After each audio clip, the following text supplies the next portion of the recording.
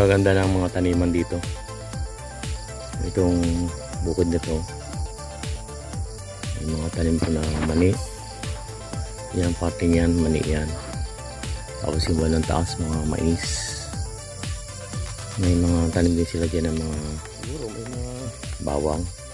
Pinagagamitan. highland uh, plantation yan. Nagluluto. Ayan, mga gabi ng mga sa kabila medyo tago. Ayun mga bawang yun malawak na bawangan yan taniman ng bawang tsaka mani. Itong baba na ito yan mani yan yan. Ah, nakakalungkot lang dahil ah, eh, tinamaan to ng bagyo eh. Bali dalawang malakas na bagyo tumama dito. Ah, yung una yung Ruli. Pinta muna pinta tapos Ruli. Sinundan pa ng Ulysses. Pero ang malakas dito yung uh, Rolly at saka Ulysses. Kaya yung mga tanim kong mga niyog ito makikita yung mga niyog. Mga sinira ng bagyo. Pati mga saging. Mga saging ano. Mga kailangan to mga isang taon bago makarecover ng maganda. Ayan o ito mga bagong tanim pa lang ito, yung mga maliliit pa. Sinira na agad ng bagyo. Ang gagawin ko nga eh, bibili ako ng pambumba sa damo para itong mga damong ito ay ah, matay. Nangyari, bukod sa bukod sa sinira na nga ng bagyo, napagtalian pa ng hayop, kalabaw at saka kabayo, ayan oh pinakain kaya hindi ako makapagpalaki ng maayos ng niyog. Pagka napakailaman na ng hayop yan balam na siyang lumaki. Ito pa oh. Yan nakapansin nyo pinapag-ulahan kasi nila ng kalabaw. Kaya nangyari na abala ang paglaki ng mga niyog ko. Eh, pag ito naman lumaki hindi lang ako makikinabang nila. Dito maraming makikinabang yan. Malaki-laki rin itong lupa na ito eh. Pagka naging ano to productive na lahat namumunga na lahat ng niyog. Tsaka mga saging ulit ay nakarecover ulit mga saging. Papatayin pa ako ng panibago ng mga saging katulad yan oh. eh, hindi lang ako makikinabang yan sila rin. Ayun oh, sinira talaga ng bagyo yung mga saging ko. Yung iba tumba. Yung iba ay naputol. Kaya ngayon kahit puso ng saging na panggulay, mahirap makakuha ngayon. Kasi ano nga, uh, sinira ng bagyo. Pinasyalan ko tong bukid ko. Kasi patatlong araw ko na dito, eh, wala ako doon sa baba.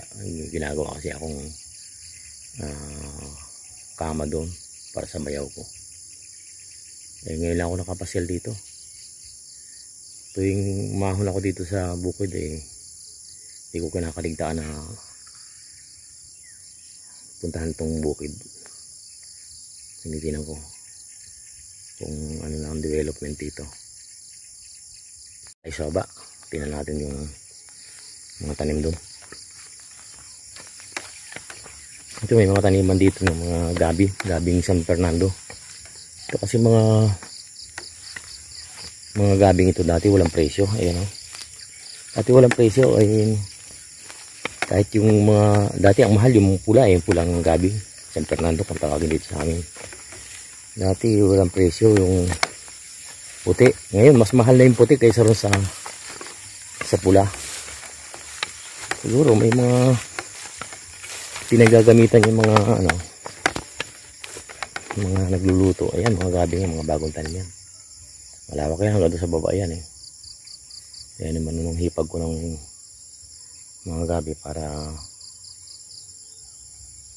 may pag uh, naglaman na siya eh ano maibibenta. Hindi hindi sabay-sabay ang paglaki kasi hindi rin sabay-sabay ang pagtatanim. Meron pa doon sa kabila mas malawak yung doon sa kabila doon sa taas. Doon sa pinanggalingan natin may panggabihan pa no? Dating San Fernando. Pag ito'y lumaki talagang ma talaga. Mas matataas pa sa tao ang dahon to malapad Kahit nga umulan eh, pagka umulan, pwede kang magtago dun sa ilalim para hindi ka mabasa ng sa dahon, narapat na dahon. Tingnan natin itong kabila. Ito ang ipapabumba ko. Papabumba ko ito, ano? Ah, para ma dinang ng bayaw ko. Ayun o, sinisira pa ng kalabaw yung mga hinyog ko. Yun. Halit na mabilis ang paglaki eh. Ayun, pinapagulahan nila ng karabaw. Sabi nga ng isang bayaw ko, kahit sandaang taon ka magtanim ng niyog dyan, kung sisirain ng kalabaw, hindi, mo, hindi ka makapagbalaki. Tama naman.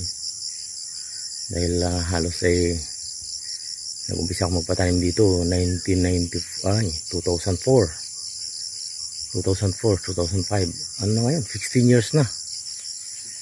Yung iba, matatakas na. Talagang ano na. ah antigo ng pamumunga. Pero itong mga iba, mga bagong tanim pa lang ito. Yan. Yung iba nag-uumpisa ng bumunga. Yung iba eh, bago pa lang. Ito, yan, katulad yan. Kailangan talaga ng tiyaga. Yung isa pa, kinain pa ng kalabaw yun. Oh. Lagi ko na lang yung tinataniman. Ano pa yun? Grafting pa yun. Ay, grafting ba? Ah, dwarf. Hybrid dwarf. Nan yung sinira na naman ng kalabaw. Nakakalungkot. Yung mga tanim ako dito mga puno, katulad yan. Yan, mga puno ng jimirina yan. Tansya ko mahigit ng 20 piraso yung malalaki kong yan mga 5 years pa pwede nang uh, ipa lagari yan papawirso para pwedeng gawing bahay. Maraming pakinabang dyan eh. Pero magpapatanim pa rin ako para dumami. Hindi ko lang tinatanim sa malalapit sa sa ano sa tubig kasi malakas kasi sumipsip ng tubig yan eh. Yung malayo na yun yan ay niyugan ng bayaw ko nagreklamo nga siya kasi sinira talaga ng bagyo yan oh. kapansin nyo yan hanggang doon pa sa akin yan? Sa taas na yun, yun malayo na yun. Sabi nung binilihan ko nito dati noon 2004 sa mga apat na hektarya daw ito. Hindi ko lang sigurado kung mag-abot yan ng apat na hektarya ito. Hanggang ito doon sa baba naman malayo na yun ayun yung bahay ko. Hindi pa tapos. Ayun mga nyog na sinira ng bagyo. Okay bababa na ako. Pinasyalan ko na itong bukid ko rito sa taas at ano. Tinignan ko yung itsura ngayon. At tapusin ko yung ginagawa kong kama dahil lilipat ako doon sa isang bayaw.